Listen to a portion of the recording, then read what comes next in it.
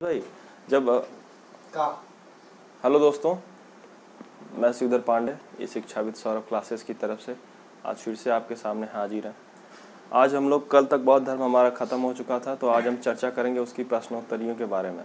प्रश्नोत्तर उतना ही ज़रूरी है जितना कि कहानियाँ या तथ्य क्योंकि प्रश्नोत्तर के माध्यम से आप एक ही नज़र में पूरा का पूरा जो भी चैप्टर के बारे में चर्चा होती है, पूरी की पूरी जानकारी आपकी आँखों के सामने गुजरती है और आपके दिमाग में पूरा का पूरा सेट हो जाता है। ठीक है? कुछ प्रश्नोत्तर ब्लैक लिखे गए बोर्ड पे और कुछ प्रश्नोत्तर हम थ्योरी थ्योरेटिकल तरीके से आपको चर्चा करा देंगे। ठीक है? जवानी भाषा में। ठीक है? तो दिखाते हैं प्रश्न आज का। कल बौद्ध धर्म खत्म हो जा, हो गया था और जैसा कि हर चैप्टर के बाद हम लोग उसके प्रश्नोत्तर के बारे में चर्चा करते हैं तो आज का यहीं पे शुरू करते हैं। पहला सिद्धार्थ किस गोत्र के थे और किस वंश के थे? तो आपको बताए थे इनके गोत्र के बारे में कहानी कि इनका जो गोत्र था, वो गौतम गोत्र था और इसी गोत्र के कारण इनका नाम गौतम बुद्ध पड़ा था। तो गौतम गोत्र था एंड शाक्य वंश ठीक है? गौतम बुद्ध का जन्म कहाँ और कब हुआ था? कब हुआ था? पाँच सौ तिरसठ ईसा पूर्व। कहाँ हुआ था? कपिल वास्तु। ठीक है? गृह त्याग के समय उनकी उम्र क्या थी, आपको बताए थे? उनतीस साल उम्र थी। ठीक है? और भी चीज़ें यहीं पे बताते हैं। उसके एग्जैक्ट छः साल बाद उनको ज्ञान की प्राप्ति हो गई और पैंतीस साल उसके प्लस पैंतालीस साल तक उन्होंने ज्ञान का वितरण किया और पहला उपदेश जाके सारनाथ में दिया उसी में चार आर्य सत्य बताए थे। दुख है दुख का कारण होता है दुख निरोध संभव है दुख निरोध कैसे किया जा सकता है? ठीक है? गृह त्याग की घटना क्या कहलाती है? चार शब्दावलियाँ थी। गृह त्याग की घटना क्या कहलाती है? महानिभिष्क्रमण।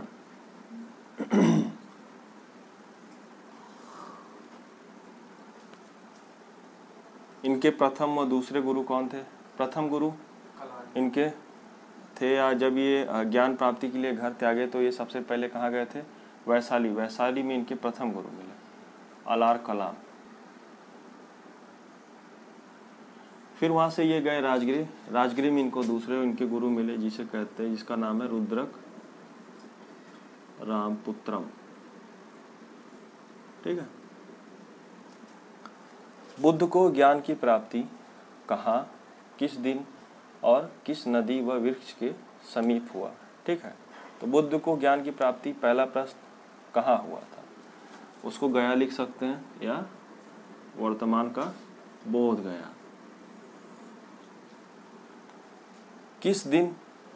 एक ही दिन में सारा बुद्ध का जो भी महत्वपूर्ण काम हो एक ही एक ही दिन हुआ है बैसाख पूर्णिमा। किस नदी? तो निरंजना।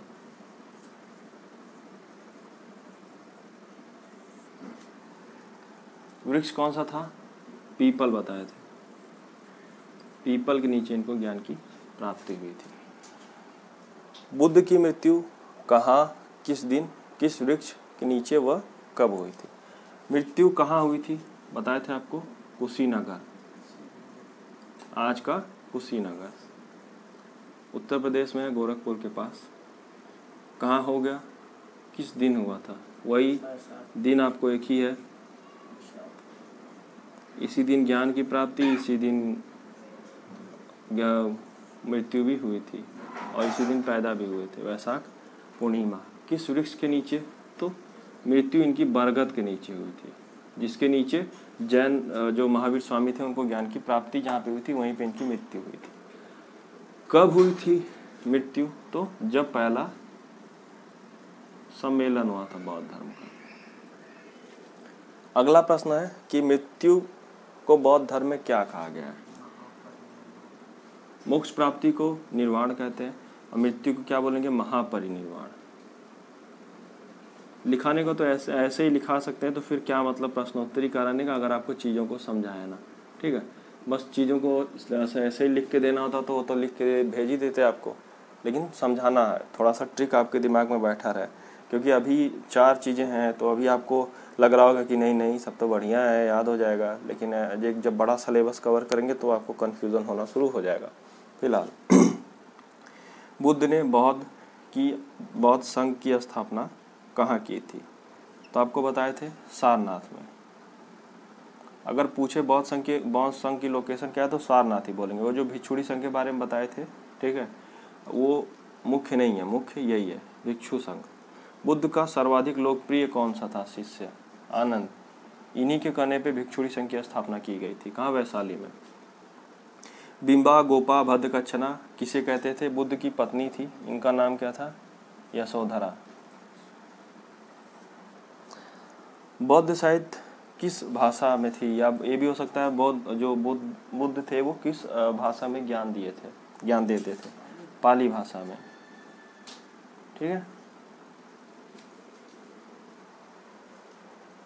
ये बारह प्रश्नोत्तर फिर से एक बार बता देते हैं। सिद्धार्थ किस गोत्र के थे? किस वंश के थे? तो सिद्धार्थ जो है गौतम गोत्र के थे और वंश उनका साक्य वंश था। गौतम बुद्ध का जन्म कहाँ और कब हुआ था? पाँच सौ तिरसठ ईसा पूर्व कपिल वस्तु में हुआ था।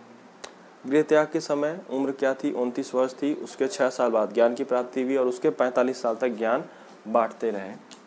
ज्ञान का प्रचार प्रसार करते रहे। और ज्ञान में क्या बताते थे? नैतिकता व जीवन संबंधी बातें बताते थे। गृह त्याग की घटना को क्या कहते थे? महान अभिष्क्रमण कहते थे। और इसी के पैलल में बता देते हैं आपको, वो कौन से दृश्य थे? ठीक है? वो दृश्य कौन से थे जिसको देख के बुद्ध जी का मन भटका और उनको ज्ञान मतलब कि उनको घर गृह त्याग करना पड़ा, जैसी या गृह त्याग जैसी घटना घटित हुई तो चार दृश्य कौन से थे? आपको याद, ये परीक्षा में पूछा जाता है। पहला, बूढ़ा देखे। बूढ़े रहोगे अगर तो रोगी ज़रूर होगे।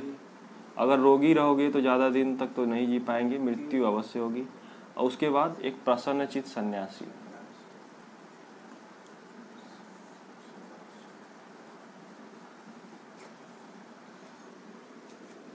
ठीक है? इसी के पैरेलल में था, वो तो बता भी दी, वो भी बता दिया आपको। और जब ये गृह त्याग की घटना घटित हुई थी तो इनके घोड़े का नाम पूछा जाता है, सारथी का नाम पूछा जाता है। तो इनके घोड़े का नाम क्या था? कंधक। और जो सारथी, उसका नाम था? छंदक। छंदक है और कहीं कहीं उसको चिन्ना भी नाम बोलते हैं। तो कैसे आपको याद कराए थे? कंधा जिसका कंधा है, वो घोड़ा है और जो छंदक है, वो सारथी है। तो छंदक ऑन कंधक, या कंधक पे छंदक। ठीक? इनके प्रथम गुरु व दूसरे गुरु कौन थे? प्रथम आलार कलाम अब मान लीजिए परीक्षा में दे दिया प्रथम गुरु, उसमें रुद्रक, राम पुत्रम भी दे दिया तो आपको कैसे पहचानना होगा कि प्रथम गुरु कौन थे? तो अल्फ़ाबेट में जो पहले आता है ए वही इनके गुरु थे। ठीक है? ये बुद्ध थे बी को किसने ज्ञान दिया? ए ने ज्ञान दिया। अलार कलाम। ठीक? ये समझ में आ गया होगा, उम्मीद है? दूसरे रुद्रक रामपुत्रम ठीक है? बुद्ध को ज्ञान की प्राप्ति कहाँ किस दिन, किस नदी व किस वृक्ष के समीप हुई। तो पहले वो स्थान गया था, जब इनको ज्ञान की प्राप्ति हो गई तो बोध गया हो गया। वो वृक्ष जो था पीपल का, उसको बोधि वृक्ष के नाम से भी जानते हैं। और दिन वैशाख पूर्णिमा वैशाख पूर्णिमा के दिन इनके, इनका जन्म हुआ, इनको ज्ञान की प्राप्ति हुई, इनकी मृत्यु भी वैशाख पूर्णिमा के दिन ही हो गई। नदी निरंजना थी। ठीक? बुद्ध की मृत्यु कहाँ, किस दिन, किस वृक्ष कब हुई? दिन तो आप लोग जान ही रहे एक ही दिन है। वो है वैशाख पूर्णिमा। कुशीनगर में मृत्यु हुई। बताए थे मलगढ़ राज्य के जो मुखिया थे, चुन उनके यहाँ ये भोजन किए। भोजन करने के बाद इन्हें इनके कहा, बताया जाता है कहानियों में कि इन्हें पता था कि उसमें विष है, ठीक है? और उसके बाद ये गए। बताया जाता है कि इन्होंने सुअर का मांस का सेवन किया था, ठीक है? ये मतलब देखिए, कोई ऐसी तथ्य जो नया नया हो या कुछ ऐसी चीज़ें जो आपको थोड़ा सा हट के लगती है तो उसको आदमी मेमोराइज करने में आसानी हो जाती है किसी भी शख्स को। तो इसलिए ऐसी ये बताना बहुत ज़रूरी होता है। तो कुशीनगर में, वहाँ से गए ये कुशीनगर कुशीनगर में इन बरगद के पेड़ के नीचे इनकी मृत्यु हो गई, चार सौ तिरासी ईसापुर में, और तभी जो है, पहला बौद्ध संगीति हुआ था, ठीक है? बुद्ध ने बुद्ध संघ की स्थापना कहाँ की थी? सॉरी, पहला है मृत्यु को बौद्ध धर्म में कहाँ कहा गया था? निर्वाण। ठीक है? निर्वाण मतलब मोक्ष होता है बौद्ध धर्म के हिसाब से। बुद्ध ने बौद्ध संघ की स्थापना कहाँ की थी? तो जहाँ पहला ज्ञान दिए, वहीं पे बौद्ध संघ स्थापित हो गया, सारनाथ में। बुद्ध का सर्वाधिक लोकप्रिय पशु कौन था? आनंद। ठीक है? धर्मों का जो भी होता है, जन्म क्यों होता है? आनंद की प्राप्ति के लिए, जीवन में सुख की प्राप्ति के लिए। तो उस हिसाब से आनंद। ठीक है? बिंबा गोपा भद किसे कहते थे? बुद्ध की पत्नी का नाम यशोधरा था, उन्हीं को बिंबा गोपा भद कहते थे। बौद्ध साहित्य किस भाषा में है? पाली भाषा में या बुद्ध अपना ज्ञान किस भाषा में देते थे पाली भाषा में। ठीक है? और भी चीज़ें हैं, और भी प्रश्न है। फ़िलहाल ये ये कुछ ऐसे प्रश्न हैं जो हमारे बोर्ड पे आ जाते हैं तो उनको हम सीधे लिख देते हैं। बाकी प्रश्नों की आपके साथ चर्चा कर सकते हैं। अभी देखिए, जैसे हमने इनके जो भी संगीतियाँ हुई थी बौद्ध धर्म की, उसके बारे में तो चर्चा ही नहीं की ठीक है? तो अभी चीज़ें बची हैं। उसके बारे में अभी आपसे चर्चा करता है। उम्मीद है। अगर आप प्रश्नोत्तरियों से मुँह मोड़ते हैं, आपको लगता है कि ये सब बोरिंग है तो फिर यकीनन आप कई बार इतिहास पढ़ेंगे। शॉर्ट ट्रिक मत अपनाइए, ठीक है? शॉर्ट ट्रिक तब अपनाइए जब लॉन्ग टर्म में पढ़ चुके हो। अगर आप सोचेंगे स्टार्टिंग शॉर्ट ट्रिक से करेंगे और आप इतिहासकार बन जाएँगे या फिर आपको इतिहास याद रहने वाला तो ये आपकी भूल है। या बचपना है, अभी तो नया हैं, तभी। जो मज़े हुए हैं, वो ऐसा नहीं कहते, ना वो ऐसा करते हैं। ठीक है।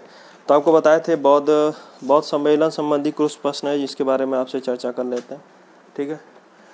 प्रथम सम्मेलन कब हुआ था? प्रथम सम्मेलन, लिख लेते हैं। ठीक है?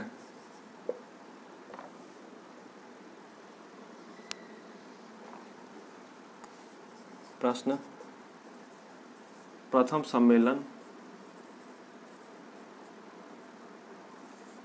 कब हुआ? कहाँ हुआ? शासक कौन था उस समय? और अध्यक्ष कौन था? एंड एट लास्ट कार्य क्या क्या हुए थे? ठीक है? कब हुआ? तो पहले जब बुद्ध जी मरे, तभी उनका पहला बौद्ध सम्मेलन हुआ, चार सौ तिरासी ईसा पूर्व। ठीक है? शासक कौन थे? कब के बाद कहा? राजगिरी में हुआ। शासक कौन थे? अजात शत्रु। अध्यक्ष कौन थे? महाकश्यप। कार्य क्या हुए थे? विनय पिटक और सुत्त पिटक की रचना।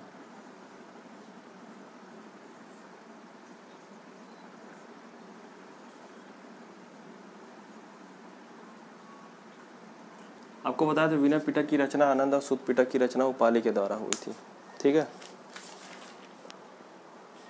सॉरी शुद्ध पिटक की रचना आनंद के द्वारा हुई थी और विनय पिटक की रचना उपाली के द्वारा हुई थी। ठीक है? जो शुद्ध पिटक था इसको आनंद आनंद कौन थे? बुद्ध के प्रिय शिष्य थे। अब पूछा जाएगा कि आ, कौन सा ऐसा सम्मेलन था जिसमें बौद्ध भिक्षुओं को अशोक द्वारा निकाल दिया गया था? ठीक है? या बौद्ध भिक्षुओं को निकाल दिया गया था? तो कहानियों के अनुसार अब अगर आप कहानियाँ याद करेंगे तो आप क्रॉस क्वेश्चनिंग से मार देंगे कि कौन ऐसा शासक था जो बहुत भिक्षुओं को निकाला था? अशोक निकाले थे। तो पहले में आज़ाद शत्रु, फिर काला शोक, अशोक, फिर कनिष्क थे। तो अशोक तीसरे में थे तो लाजमी है, तीसरे वाले में ही बहुत भिक्षुओं को निकाला गया था और उसी में अभिधम में पिटक की रचना भी हुई थी। ठीक? और उसके बाद दूसरे में फूट पड़ी थी, चौथे में बंटवारा हो गया था। तो कौन से में बंटवारा हो गया था? चौथे में हीनयान और महायान। हीनयान वाले वो थे जो स्थवीरवाद वाले स्थवीरवाद यानी लिख देते हैं। दो भाग में जब दूसरे में फूट पड़ी तो दो में पड़ी स्थवीरवाद और महासांधिक अस्थविरवादी वो वो थे जो पुरानी परंपराओं को लेकर चलना चाहते थे। सॉरी बुद्ध की बातों को ही लेकर चलना चाहते थे।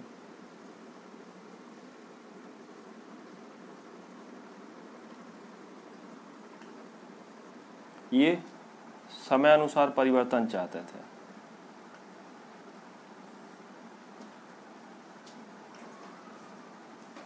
ठीक? स्थविरवाद और महासांधिक। तो ये जो स्थविरवाद वाले थे, यही बाद में चल के हीनयान हो गए।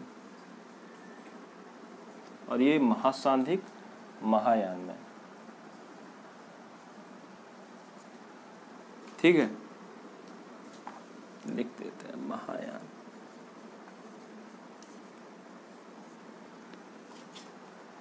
ठीक है स्थविरवाद वाले बाद में चल के हीनयान हो गए, महासांधिक वाले महायान हो गए।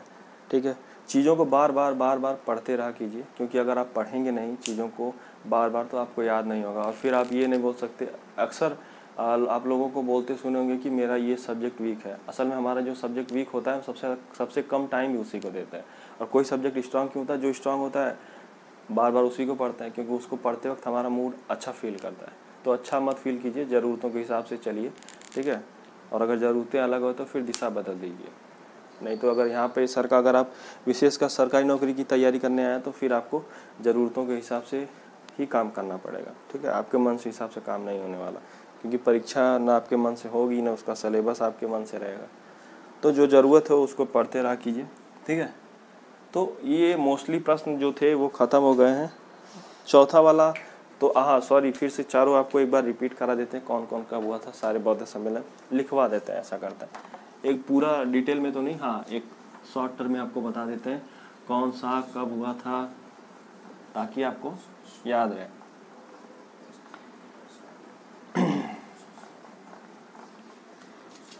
चलो, ठीक है दोस्तों, देखते हैं।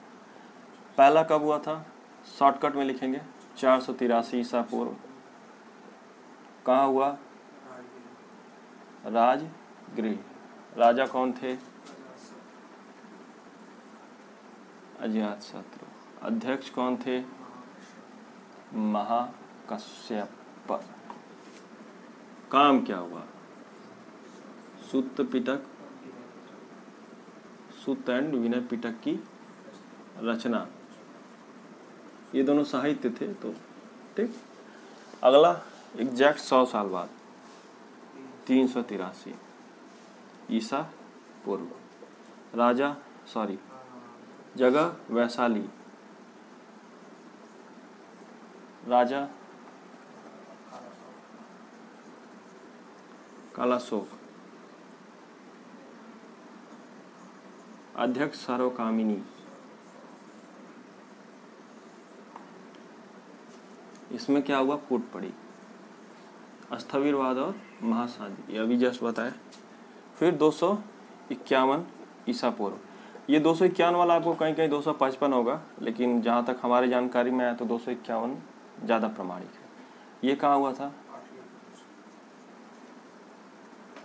पाटलिपुत्र। कालाशोक के बाद। अशोक। अध्यक्ष कौन थे?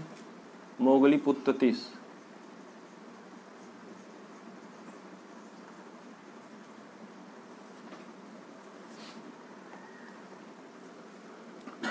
और इसमें क्या हुआ था? अभिधम्म पीठक की रचना।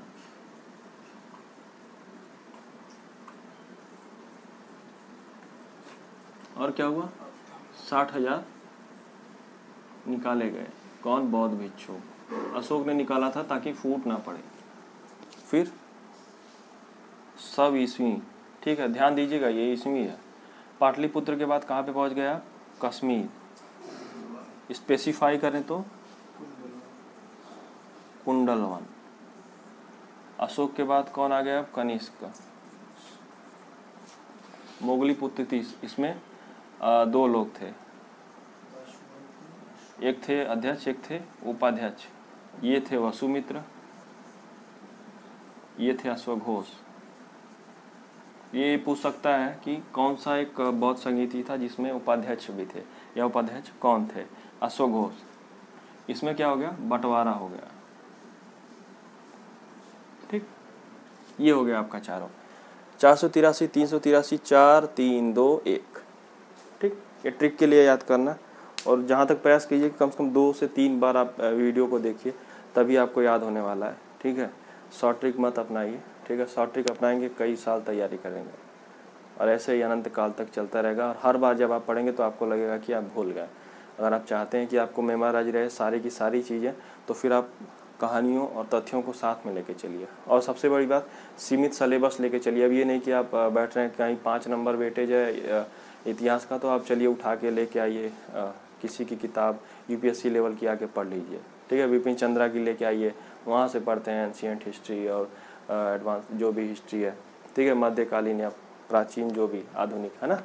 तो ऐसा नहीं करिए, जितना लिमिटेड सलेबस है, उतनी लिमिटेड जगह से पढ़िए।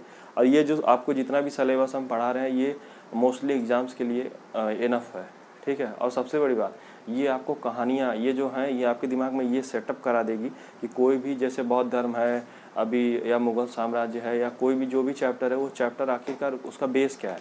वो चलता है, वो चैप्टर है क्या? उसमें है क्या? उसमें बताना क्या चाहते हैं? या किसी भी चीज़ से संबंधित कौन सी चीज़ें हैं जो हमें जानना चाहिए, या कुछ ऐसे कहानियाँ, कुछ ऐसे तथ्य जो आपके दिमाग में सेटअप हो जाएँगे, ठीक है? तो आज का ज्ञान आज के ज्ञान की क्लास यहीं समाप्त होती है और कल हम लोग आ, कल से हम लोग पढ़ेंगे मौर्य साम्राज्य के बारे में। बहुत ही इंटरेस्टिंग चैप्टर है जैसा कि आप लोग जानते ही होंगे चंद्रगुप्त मौर्य अशोक बिंदुसार के बारे में पढ़ेंगे। तो तैयार रहिए नई रोचक कहानियों और तथ्यों के साथ फिर से मिलेंगे अगले लेक्चर में। जय हिंद दोस्तों।